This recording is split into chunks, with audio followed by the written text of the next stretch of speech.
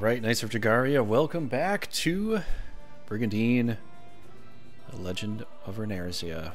We're going to cover Faye today, and we're going to talk about him a little bit and see what he could do and see what is kind of good for the guy. So, strap yourself in. And as usual, stay triggered. Pew pew. pew. Faye is a monk.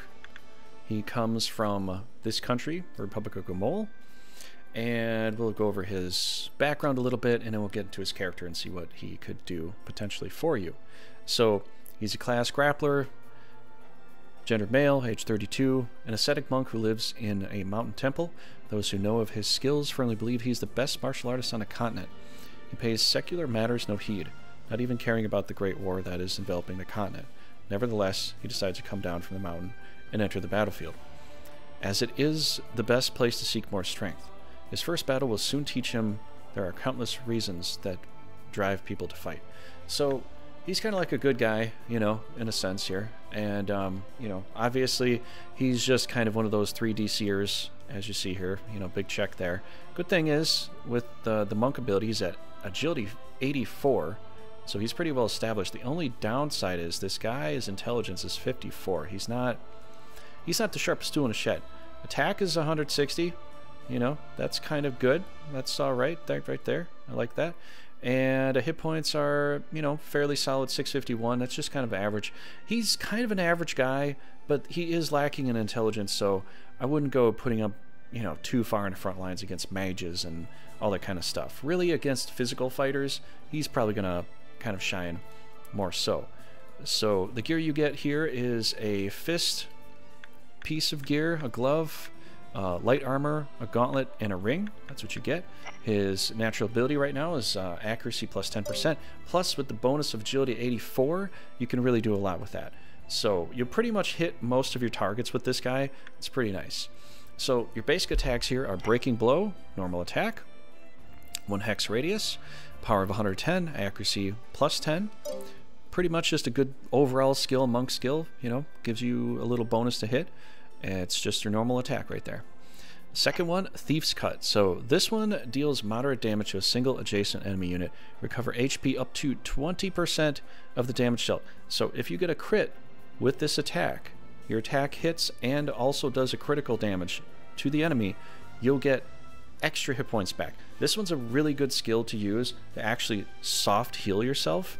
You know, it's a very soft heal. It's really not that much. You're just going to be looking at pennies, essentially. But with every little transaction, it does count. It does add up to something. So, you know, you could use that as much as you like. Now, here's another one you can use.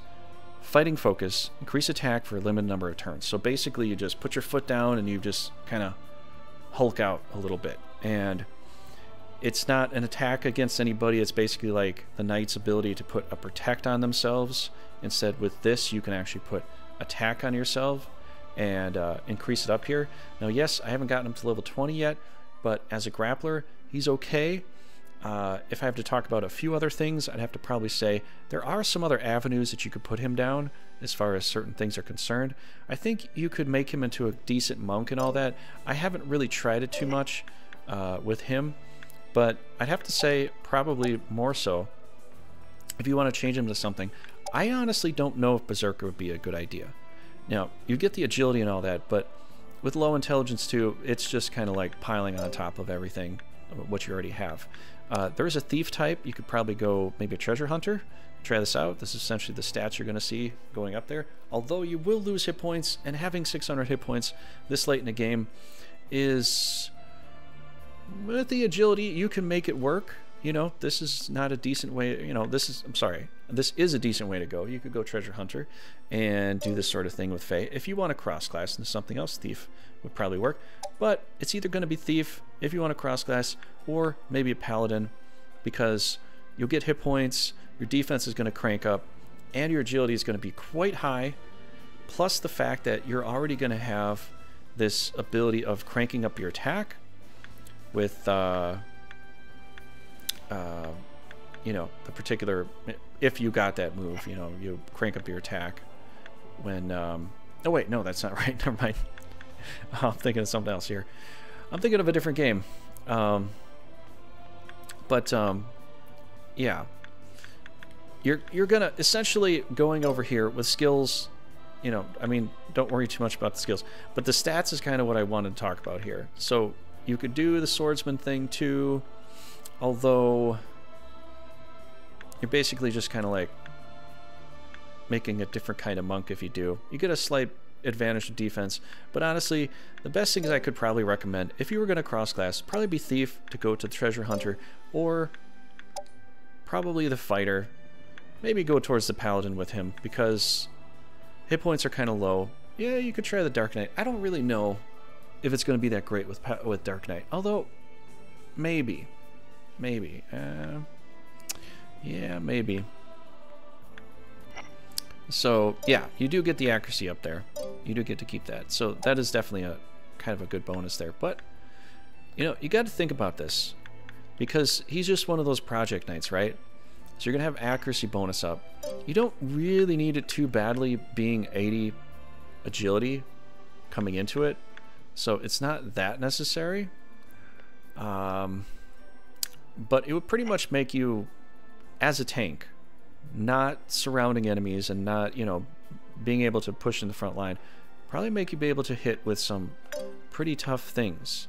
You know, there are some skills that are hard to hit like this. So, I mean, it could help with the Dark Knight, potentially, now that I'm thinking about it like that. Uh, as low accuracy with Terra Impact, but it also applies for Paladin too, with uh, some of the moves that you get as a Paladin here.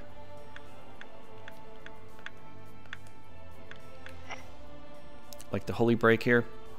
Low accuracy also. But, you know, the thing is, because the, because of the low hit points, I mean, it's 650 is still good. Um, but with the low intelligence, the hit points not being up in the 700s, at this point, level 17, considering a monk should have high hit points. Because, honestly, the monks and the barbarians kind of have the high hit points as far as what uh, classes are concerned. And so they sacrifice some defense for high hit points. And so I would probably like to see it like 700 plus, you know, naturally aspirating. But you do what you want with the classes. He's a decent project knight. Uh, I haven't really been able to practice with him too much, but you know, he's a good guy. He's a project knight. His intelligence is pretty low. so, you know, if you're going to change into something where you could handle some damage, the reason I'm saying maybe go into a tank or a thief, because you either need to like really, really run away, or you need to really, really be able to handle the damage. Because as soon as you get hit with a with a, um, a curse spell, a divine, even a divine ray, even any other kind of magic spell, you're gonna be feeling it in the morning. You really will. So that's all I got to say about Faye. I think he's a good character, and I'd love to be able to practice them more. He could be an amazing champion, which I have yet to see that, but um, usually I kind of cross class into some other stuff. For me personally, I'd have to practice the champion class more, but I know from the previous game, Legend of Forsena, I loved it more in that game in particular. And that's just my preference. But uh, you tell me what you think about Faye. I'd love to hear your opinion on it. And I'll see you in the next Brigandine video. Thank you so much for watching.